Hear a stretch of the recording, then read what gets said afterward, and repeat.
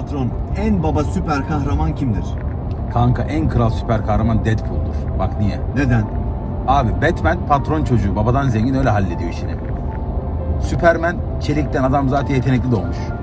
Spiderman abi ortaya karışık böcek ısırmış. Ne olduğu belli değil. Ama Doğru. Deadpool adamdır.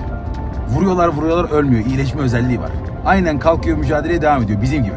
En kral süper kahraman Deadpool'dur abi.